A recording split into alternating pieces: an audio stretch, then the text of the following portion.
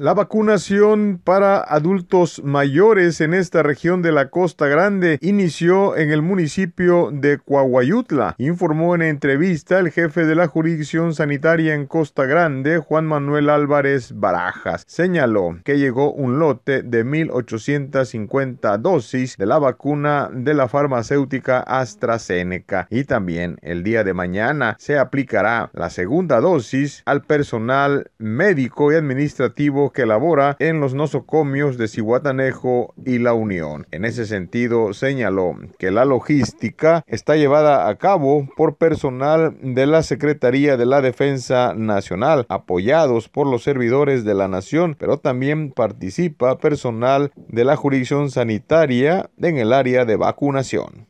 Efectivamente, el domingo eh, la, la vacuna AstraZeneca en una cantidad de 1.850 dosis para el municipio de Coahuila. Esta vacuna se inició solamente en nueve municipios de todo el estado de Guerrero.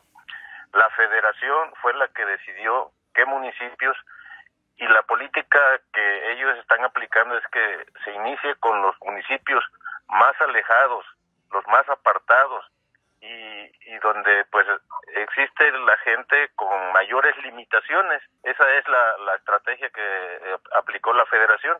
Por eso dentro de la región Costa Grande, pues el municipio que tiene el más apartado, el más lejano y de difícil acceso, pues es Coahuayutla. E iniciamos el día de ayer vacunando al personal de salud que tenemos nosotros allá y también adultos mayores. Nuestro personal de vacunador es el que está aplicando la vacuna obviamente pues ya ellos con su estrategia que traen de los servidores de la nación, pues son los que están de alguna manera reclutando pues a los adultos mayores. Afortunadamente no tenemos muchos contagios allá. Yo creo que por lo mismo lo limitado que está, pues ellos además son comunidades muy pequeñas, son muy dispersos, es un municipio grande en extensión territorial, pero habitantes y, comunidades muy dispersas. Hasta este momento no tenemos ninguna indicación, ninguna instrucción al respecto. Estamos en espera.